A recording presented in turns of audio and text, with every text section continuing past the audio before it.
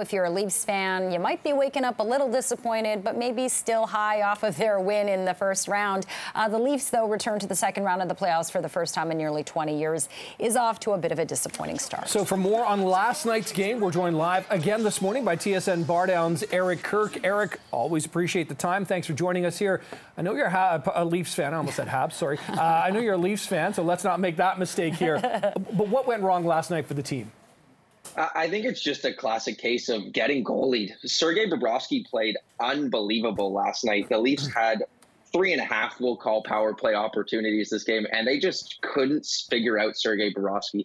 We saw them last series kind of have a pretty easy job figuring out Andrei Vasilevskiy and one of the best goalies in the world. And Sergei mm. Bobrovsky has proved why he is worth that $10 million contract so far mm. just in game one. He did everything besides stand on his head to make a save last night.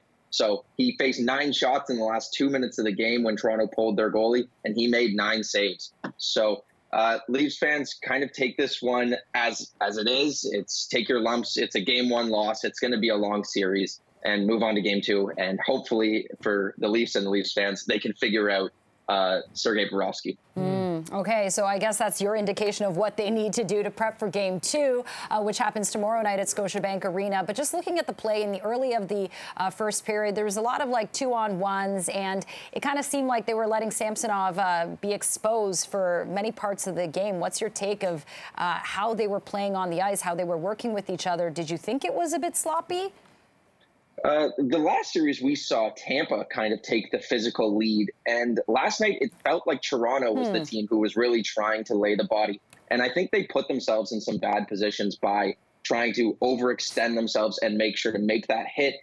It's an interesting way to do it. You have to do it in the playoffs. You have to play physical. Yeah. But Florida was taking that as they were going on the fly and kind of just moving into these two on ones, these three on twos after taking a hit to make a play, which is something you need to do in hockey. And it worked out for the Panthers this game. I think next game we won't see the Leafs play quite as overly mm. physical as we did unless the Panthers reciprocate it. But we'll see how Sheldon Keefe adjusts. Yeah, we'll watch for any changes and, of course, see what happens. Of course, game two goes Thursday night at Scotiabank Arena. TSN Bar Down's Eric Kirk. Always appreciate this, Eric. Thanks. Thank you, Eric. Thank, thank you.